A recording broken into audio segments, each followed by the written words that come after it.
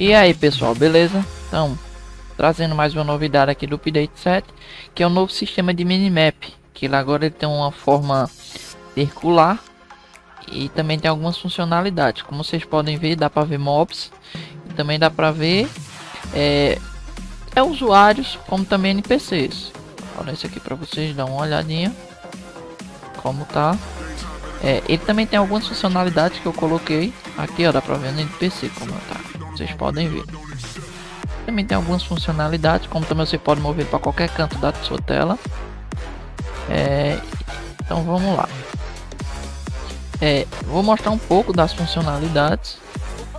É, a primeira funcionalidade que eu quero mostrar é o 3D. O 3D dele é simples, você clica, usa, você clica de novo, a câmera volta, trava, ele fica on para você mexer e off depois. Segundo essas opções aqui, que é para você aumentar e reduzir o zoom do minimap. Aqui eu coloquei também um menu para abrir por aqui. E também o painel de seleção de server. É...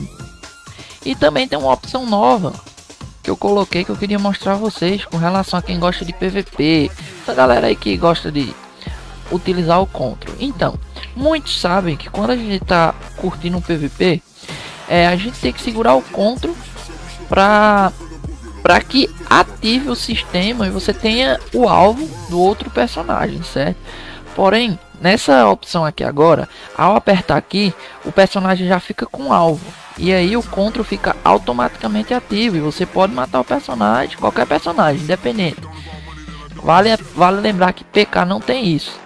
PK é só você colocar já fica. Mas aqui nesse caso, não precisa segurar contra, como você pode ver aí. Depois que você aperta lá de novo, aí ele volta ao estado normal. Bom, minha gente, é isso que eu queria mostrar a vocês. Espero que tenham gostado. Em breve mais novidades. Valeu!